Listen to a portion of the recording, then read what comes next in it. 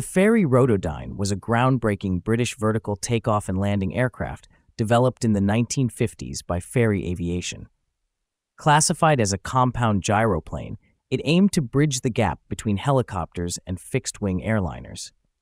Its most radical feature was a rotor powered by tip jets, combustion chambers at the ends of the rotor blades, fueled by a mixture of kerosene and compressed air bled from auxiliary compressors driven by the main turboprop engines.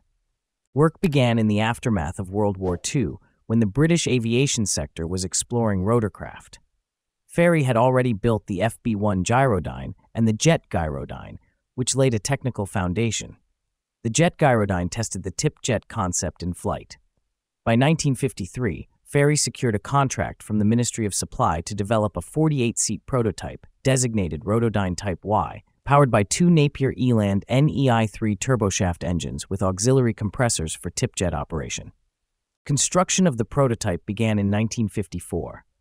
Chief engineers included Dr. John Anthony Joseph Bennett, the inventor of the earlier Gyrodyne types, and later Dr. George Hislop after Bennett left the company. The airframe was manufactured at Fairey's Hayes and Stockport plants, with final assembly at White Waltham Airfield. The prototype, serial number XE521, made its maiden flight on 6 November 1957, piloted by squadron leader Ron Gellatly and Lieutenant Commander John Morton. It successfully transitioned between vertical and horizontal flight by April 1958.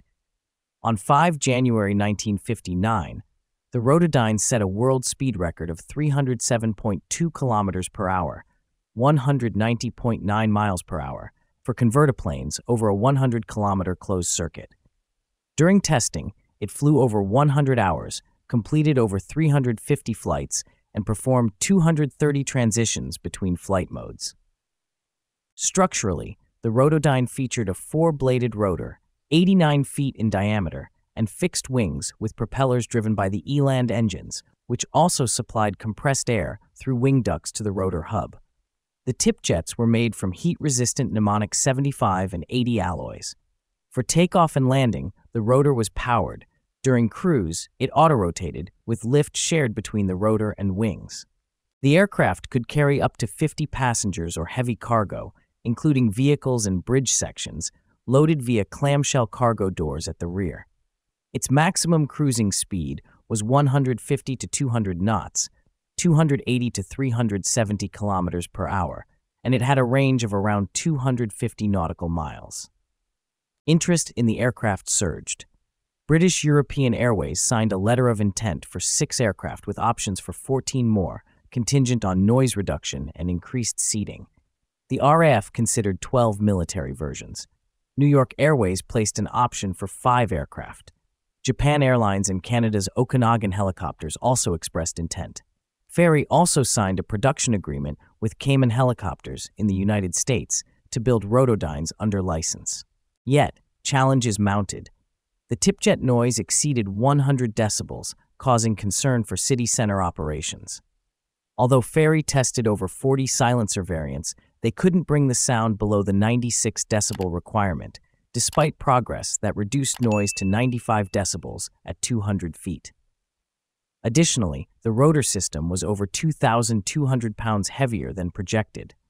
The Eland engine proved underpowered and inefficient, prompting plans to switch to Rolls-Royce Tyne engines for an enlarged Rotodyne Z, capable of carrying 66 to 75 passengers and up to 8 tons of freight. In 1960, Fairey Aviation was absorbed by Westland Aircraft as part of a government-directed consolidation of British aerospace companies. Westland continued limited development but struggled to secure firm orders or resolve technical problems. Despite a £4 million development grant, neither British European Airways nor the RF confirmed production contracts. By February 1962, government funding ended. Westland canceled the program, the prototype was dismantled and mostly destroyed. Only the rotor hub, a blade, a section of fuselage, and an Eland engine survive today at the Helicopter Museum in Weston-super-Mare. Though ultimately a commercial failure, the Fairey Rotodyne remains a pioneering concept in rotorcraft design. It combined vertical flight with efficient cruise performance and inspired later efforts such as the Agusta Westland AB609 and Eurocopter X3. its technical audacity, elegant engineering, and troubled end remain a compelling chapter in aviation history.